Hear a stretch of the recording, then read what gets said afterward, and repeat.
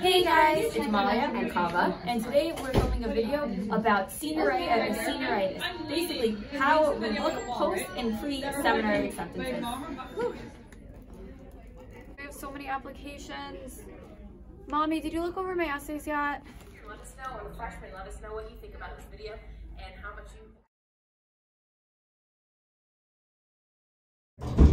The When's class over?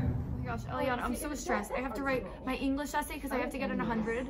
I have to write my seminary essay. I have to write my college essay. I have to write. Uh, what? What? Wait, should, should I apply to 10 other schools? I need to write all of this. I have to get a 100 on every single thing. Otherwise, I'm not going to get into school. How dare she sign this essay? We're seniors. We should be graduating already. I don't have time for this.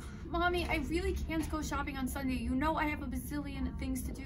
Okay, Ema, can you take me shopping? I I like have so many things that I need for seminary. I was just thinking about it. Like, yeah, can we can we go?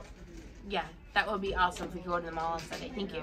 Hope you enjoyed that video. Don't forget to like and subscribe and comment down below about how you act when you're on senioritis.